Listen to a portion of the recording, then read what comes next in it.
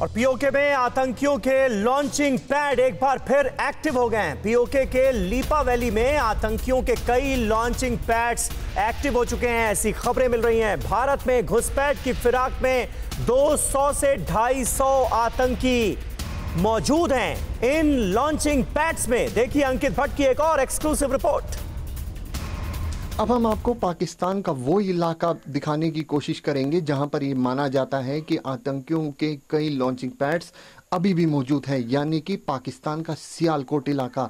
शकरगढ़ और सियालकोट इलाके में ये माना जाता है कि पाकिस्तान के अभी भी कई आतंकी लॉन्चिंग पैड्स मौजूद हैं, और हमने हाल ही में ही देखा कि किस तरीके से टनल के ज़रिए जजर कोटली में आतंकी घुसे थे, जिनको हमारे सुरक्षा बलों ने ढेर भी किया।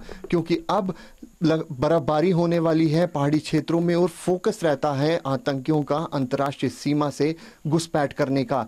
ऐसे में हमारे जवान किस तरीके से अलर्ट हैं? क्योंकि आने वाले दिनों में अब त्योहारों का सीज़न भी शुरू होता है। इस समय में मौजूद हूँ भारत पाक अंतर्राष्ट्रीय सीमा, अखनूर सेक्टर में, और आप यहाँ पर जवान को देख सकते हैं कि किस तरीके से यहाँ जवान जो है अपनी निगाहें काउंटर पार्ट पर रखे हुए हैं और अत्या आधुनिक हथियार से ये जवान यहाँ पर लैस है। सामने वाला अगर आप इलाका देखें, ये पाकिस्तान का सियालकोट इलाका है और शायद ही आपने कभी ऐसी तस्वीर देखी होगी। सामने जो आप कंक्रीट सी दीवार देख रहे हैं, ये पाकिस्तानी पोस्ट है और यहाँ पर पाकिस्तानी रेंजर बैठे हुए हैं।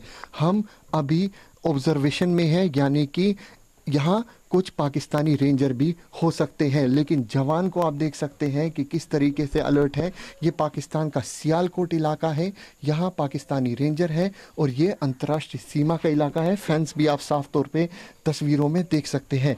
हमारा मकसद यहाँ पे आने का था, ताकि आपको दिखा सके कि हमारी सीमाओं की सुरक्षा बीएसएफ के जवान किस तरीके से कर रहे हैं। जवान को आप देख सकते हैं, पूरी तरीके से अलर्ट है।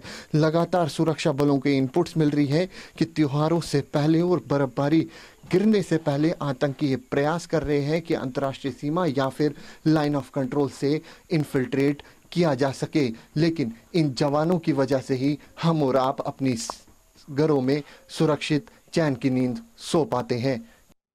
परवाह देश की। सोमवार से शुक्रवार रात 10 बजे टीवी 9 भारतवर्ष पर।